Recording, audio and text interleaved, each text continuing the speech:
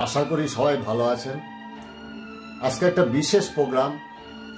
প্রোগ্রামটা হচ্ছে একজন সাধারণ মানুষের রোগের থেকে সে লং টাইম একটা ওষুধ খাওয়া রুগী হয়ে যাচ্ছে।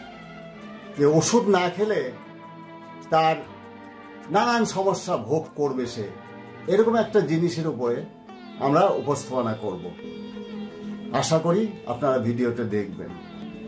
এমনই জগতে আমার পরিবেশের আশেপাশে হাজারো ব্যক্তির নানান রোগের রোগের সমস্যা আছে।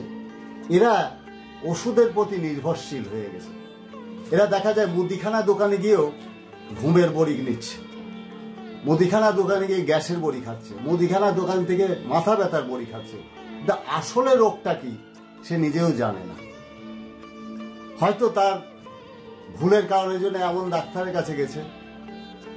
দেখা গেল ডাক্তার দিয়ে গেল তার ঘুমের বড়ি। যে আপনি এটা খান, এখন দেখা গেল কি, সে ঘুমের বড়ি খেতে খেতে অ্যাডাক্টেড হয়ে গেল। আমার জীবনে এরকম হয়েছে, বাস্তব আমারও অভিজ্ঞতা আছে। আমি কোন একটা পারিবারিক কারণে বাড়ি থেকে যখন আলাদা হই, তখন হঠাৎ বুকের ভিতর পেইন হলো। ডাক্তারকে দেখালাম তো ডাক্তার বললেন আপনার প্রেশার হয়েছে। আপনার হার্টের প্রবলেম হয়েছে।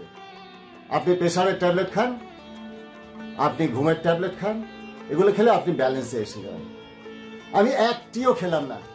দশ দিনে প্রেসক্রিপশন দিয়েছিল। আমি জানি যে এই ঘুমের বড়ি খেলেই আমার অবস্থা শেষ। অতএব আমি স্টপ করলাম। ঠিক দশ দিন পরে ডাক্তারের কাছে গেলাম। আমার এদিকে ফয়সলা হয়ে গেছে। পারিবারিক সমস্যা মুক্ত। তো ডাক্তারের গেলাম প্রেশার মেপে দেখে যে প্রেশার নেই। বলছে, আপনি ঠিক মতো বড়ি খেয়েছেন নিশ্চয়ই। আমি একটা বড়িও খাইনি আমি। আমি সেফ যোগ করেছি, যোগের দ্বারা আমি মুক্ত হয়েছি।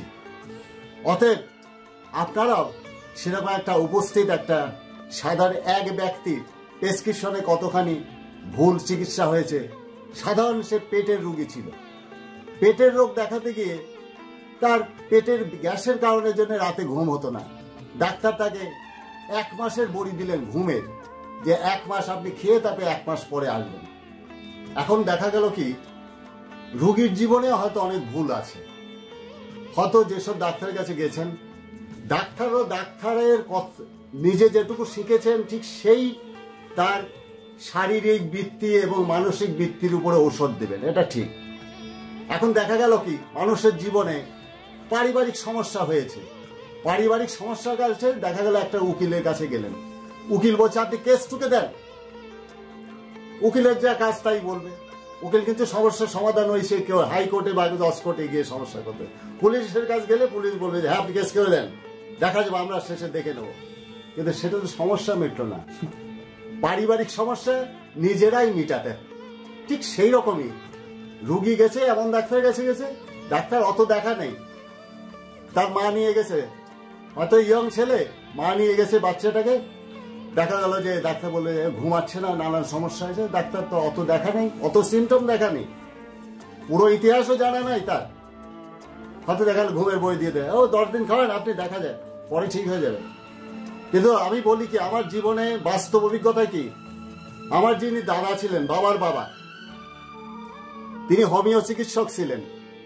আমি দেখেছি তিনি হাতে পালসের এই নারী বিট ধরে বলতে পারতো যে কয় মাসের একটা মেয়ে প্রেগনেন্ট হয়েছে।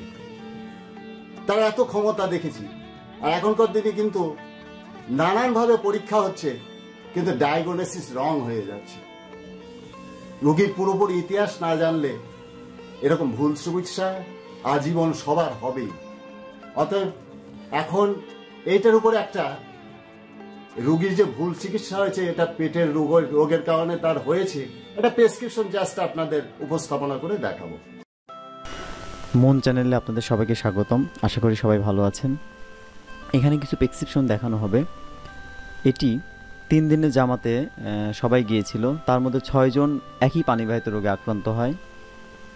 পানিটা খারাপ ছিল। পানিটার ফলে এই ছয়জনের এই সমস্যাটা হয়েছিল। তো ওই দিন রাত্রেবেলায় আমি ওখানে উপস্থিত ছিলাম। আমি দেখেছি পেশেন্টগুলা।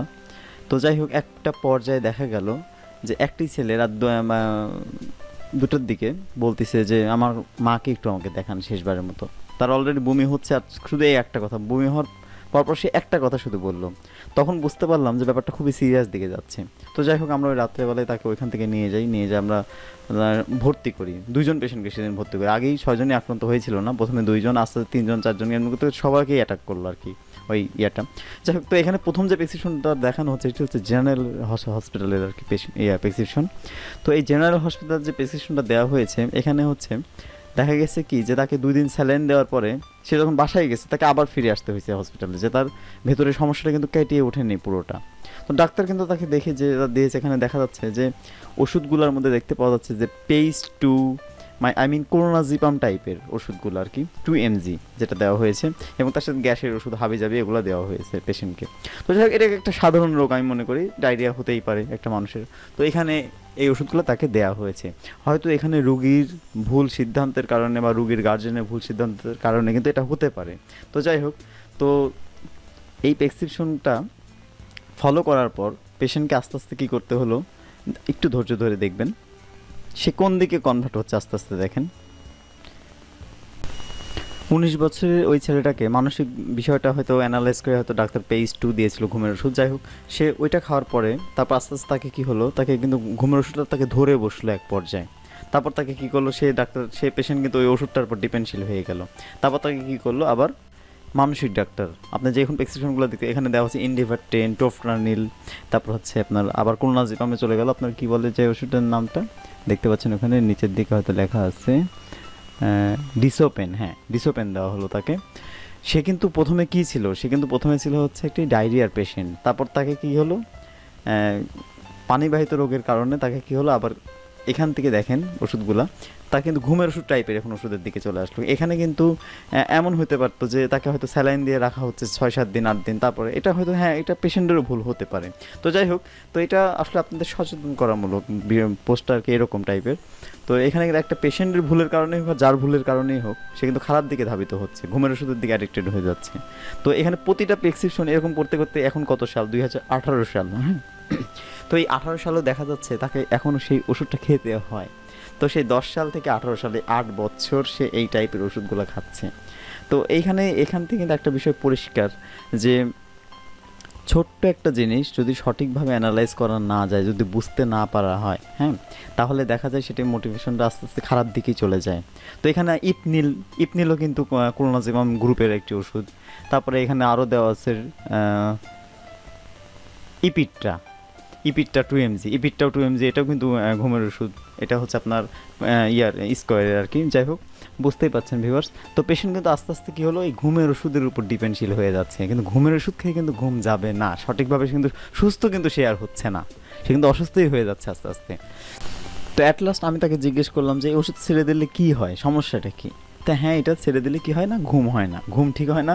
এটা একটা সাইকো টাইপের কথা আর কি যাই হোক, তো একটা পর্যায়ে আর কি যে ইয়াগুলো হলো যে তাকে কিন্তু এই ওষুধগুলো, এখানে প্রায় পঁচিশ তিরিশটার মতো প্রেসক্রিপশন আমাকে সে দিয়েছিলাম এত প্রেসক্রিপশন না, আমি কয়েকটা প্রেসক্রিপশন দেখব জাস্ট তো এখানে প্রেসক্রিপশনগুলো যেগুলো দেখানো হয়েছে, এগুলো প্রতিটা ডাক্তার তাকে ওই টাইপের পেশেন্ট হিসাবেই তাকে অ্যানালাইজ করে ইয়ে করা হয়েছে। যাই হোক, এটার কোনো সুষ্ঠু শেষ মানে যেটাকে বলে যে ওষুধ খাওয়ার শেষ সময়, যে এটা এই কদিন খেয়ে ছেড়ে দিবেন বা ইয়া, এরকম কিন্তু অনেকেই বলছে, কিন্তু সেই পেশেন্ট কিন্তু সেটা পারেনি।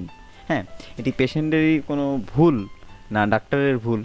এটা বড় কথা না, বড় কথাটা হচ্ছে পেশেন্টটা কিন্তু সব ডাক্তারের কাছে গিয়েছে। এখানে কিন্তু অনেক প্রেসক্রিপশন দেখানো হয়েছে।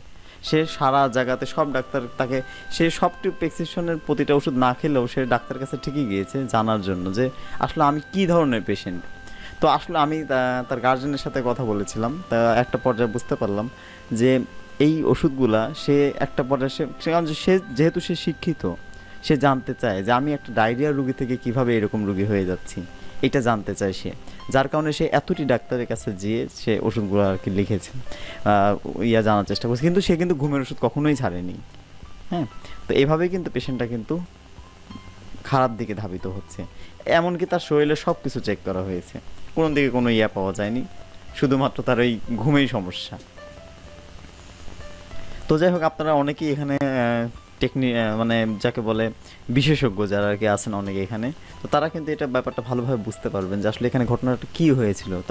তো এই ডকুমেন্টগুলো আমার মনে হয় যেটা একটি ব্যা- ইয়া শিক্ষা, প্র্যাকটিক্যালি শিক্ষা, তো এখান থেকে দেখে শেখা উচিত আমার মনে হয় প্রতিটা পেশেন্টের। কোনো জ্বরই আসুক আর ডায়রিয়াই হোক আর যেই রোগেই হোক, জেনে বুঝে ওষুধ খাওয়াটাই আমার মনে হয় বেটার আর জেনে বুঝে বলতে গেলে এত অ্যানালাইজ করে বোঝা না জাস্ট আমার কি হয়েছে তার গার্জেনকেও বুঝতে হবে রুগীটা কোন দিকে যাচ্ছে।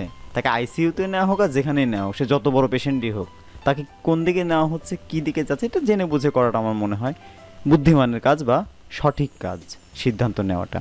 তো ভিউয়ার্স আশা করি ভালো থাকবেন। তো প্রেসক্রিপশনগুলো দেখেছেন? এবারে আমি একটা কবিতা দিয়ে শেষ করছি। ওরে, তোর মনে ধরেছিস কুটিল কামনা। সেই মনে হয় না সত্যের আরাধনা। তোর অদৃশ্য মনে যদি না থাকে ভয় ভক্তি, তবে কোনো কালেও বুঝবি না, ইমান মহাশক্তি।